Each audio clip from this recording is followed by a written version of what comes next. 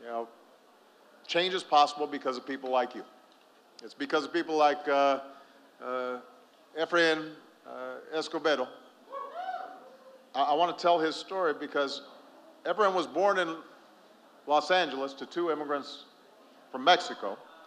As an oldest child, Efrain took on the role as his parents' advocate, translating for them in school and at the doctor's office. And when he turned 18, eager to exercise his new right to vote, he realized that his parents couldn't vote. He said, I had these two parents who raised me to love this country and worked so hard to be there, and yet, in a very important way, they weren't part of this democracy.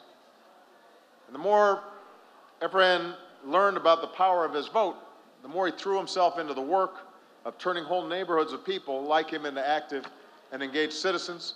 And through the organization where he works, the California Community Foundation, he's worked tirelessly to encourage people to apply for citizenship and become involved in their communities and to vote and to consider running for office themselves. In 2007, with other Latino leaders, he helped lead a campaign to encourage people to become U.S. citizens, and he joined the citizenship campaign I launched last September. And since uh, Efrain's uh, campaign was launched, millions of people have become U.S. citizens and active participants in our democracy. And that just shows you the difference that one person can make. If we use our democracy, he says, it does work and every vote really does count.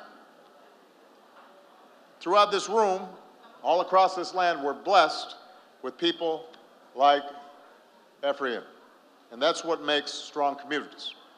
That's what makes for a strong country. People working to push this country forward, even just a little bit, and then handing it off in better shape for future generations. And that's really what we celebrate here today. Uh, and for that, uh, I want to thank you. Uh, for that, I think you've all earned a few margaritas. So, thank you, everybody. God bless you. God bless America. Viva Mexico.